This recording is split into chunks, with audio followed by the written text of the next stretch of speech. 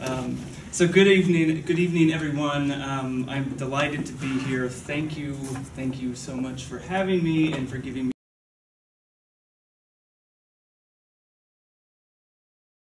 about my research. So this talk is drawn primarily from my very recently uh, published book, uh, Racism um, and the Weakness of Christianity. At the very beginning of Poetics of Relation, Edouard Glissant contemplates the living dynamics of thought. Where philosophy is so often reduced to a dimensionless place, isolated and removed from the chaotic flux of evolving culture, he says, Thought in reality spaces out into the world.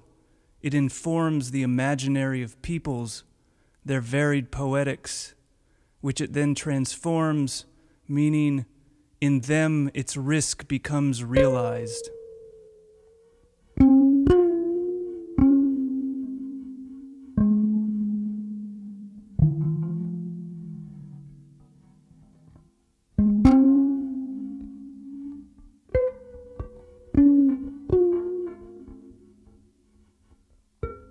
Thought in reality. That's the question. What is the risk of thought? Is thought for itself? Do I exist in thought? What happens when thought realizes it's not alone? To exist is to be at risk.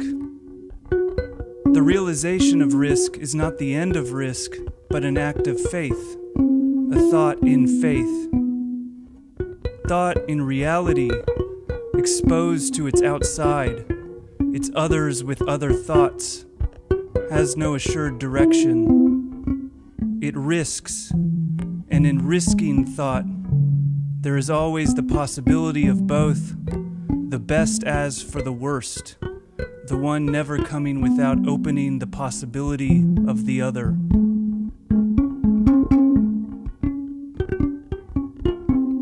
The best as for the worst, the messianic structure of experience. This is thought in reality. Risk and realization, opening and assemblage. What is the source of faith? What is the moment of knowledge?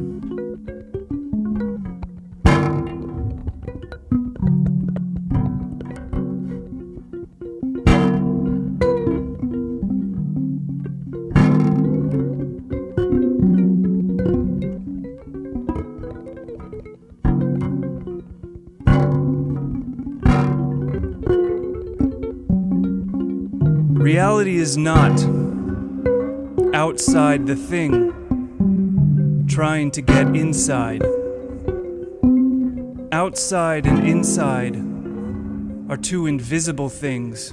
A Mobius strip, the sense of sense, the alterity of alterity, two times the space, the space between making visible the blank space,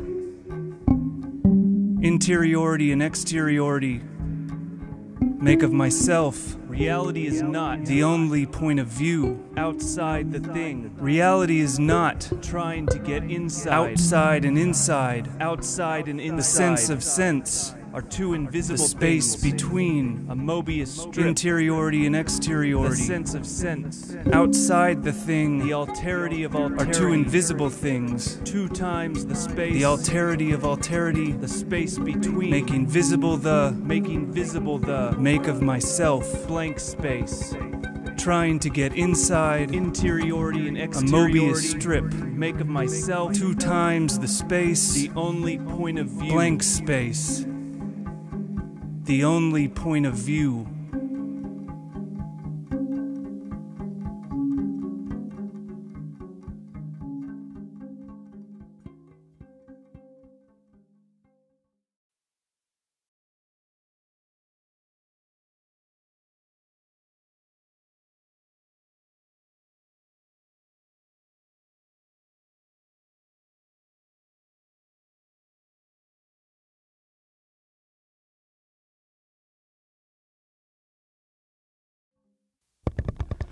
Thought and reality exists in ecological relation.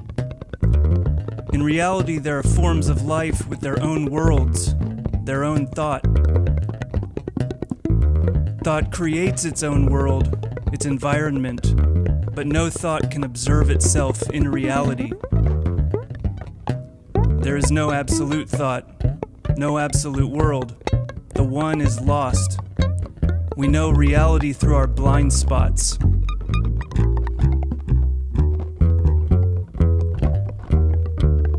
First term, autopoiesis, self creation, occurs at the level of singularities, tautological. The thinking subject produces itself by itself and through itself.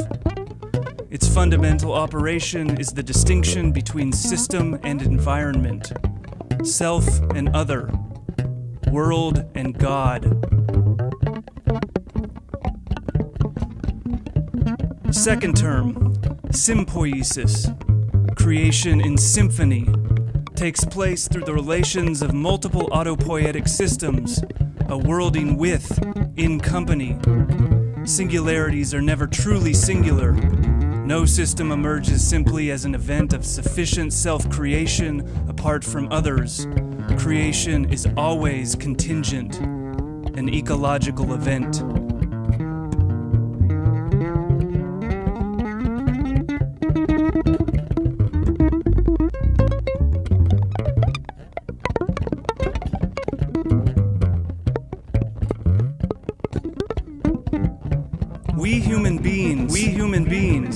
Organize the relations, specify the self, structured actuality in singular story, specify the self without measuring of universal flux, the unified and self, life death, organize the singular story of universal mythic flux, origin and mythic origin. We know reality, the ontogenic without ground measuring of virtual the system, ontogenic ground in structured actuality, as general structure and life death. The unified self. We know reality, virtual system as a general structure, infinite environment, and infinite environment.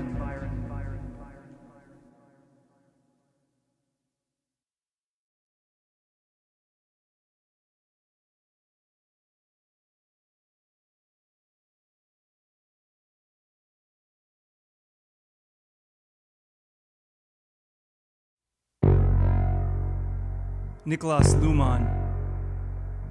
For cognition, only what serves in a given case as a distinction is a guarantee of reality, an equivalent of reality. It is, however, precisely as this unity that the distinction cannot be observed. Reality is what one does not perceive when one perceives it.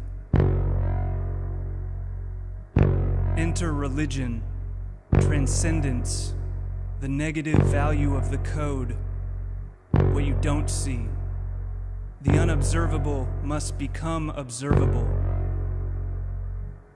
Thought in reality, a negative theology of unknowing. God is seen and not seen through the negative value, the reflective value, through transcendence.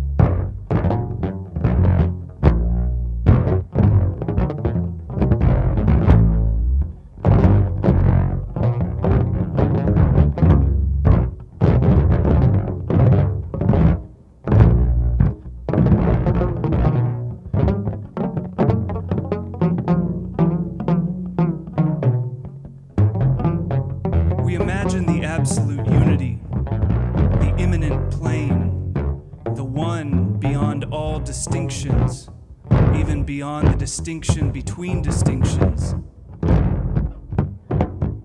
We cannot see it, but we must approach it, and so we make distinctions.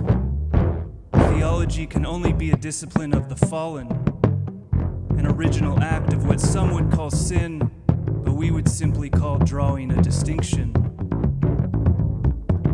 System and environment, world and God, at the origin.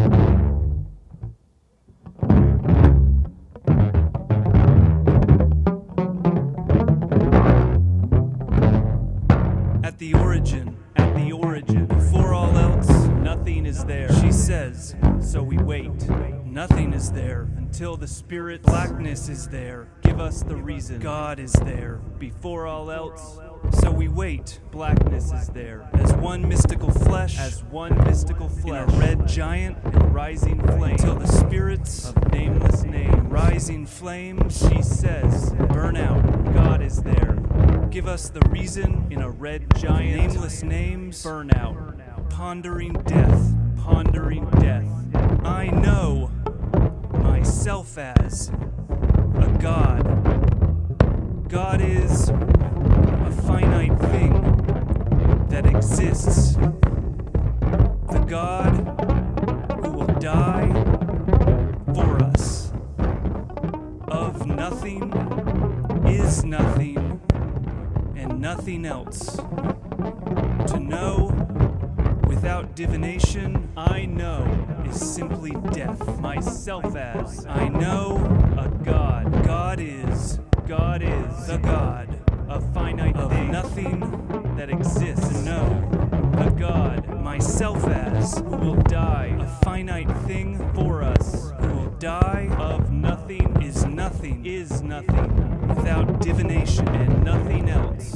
A God to know that exists without divination for us is simply and death. Nothing else is simply death.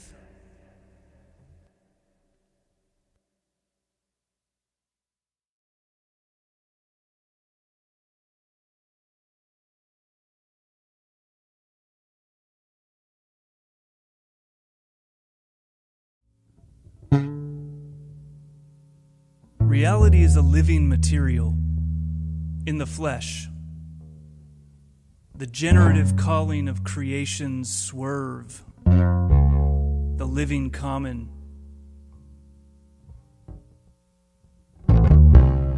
It is the flesh and not the body, after Hortense Spillers, that calls us. The zero degree of social conceptualization. The unitary weave of the difference between bodies, the materiality of a common non belonging.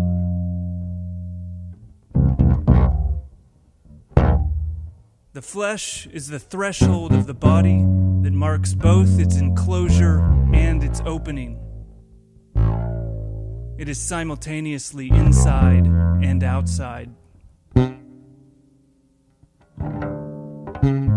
Unity of system and environment, the hidden God, the relation of relation. My body is made of the same flesh as the world, an element of being, a general thing, an incarnate principle that brings a style of being wherever there is a fragment of being. There's no end in the flesh, every end is a new beginning.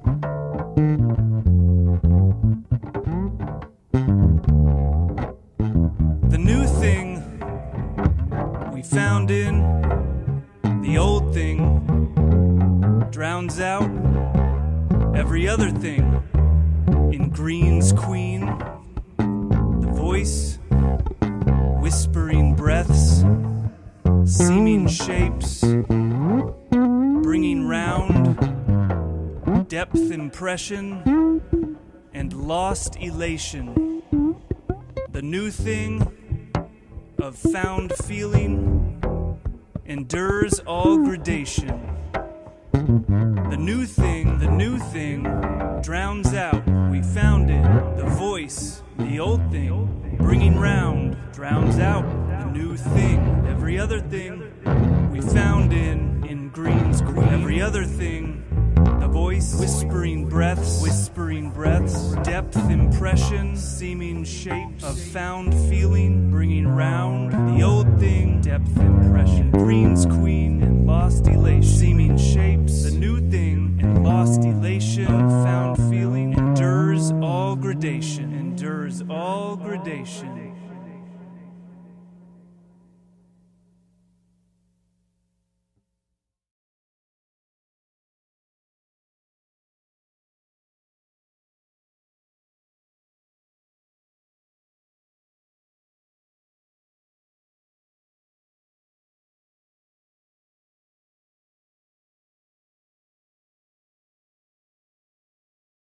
Reflects the kind of social and undetermined possibilities inherent in the fleshly and social drive to invent new forms of life through the production of cosmologies, theologies, cultural significations, rituals and practices, arts, and to be sure, counter politics of life in America.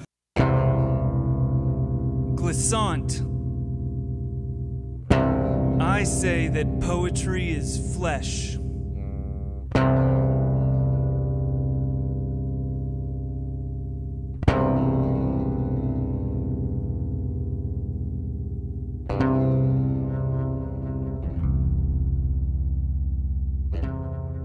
Flesh and poetics, the autopoetics of being, a general structure of experience, the best as for the worst, the risk of faith.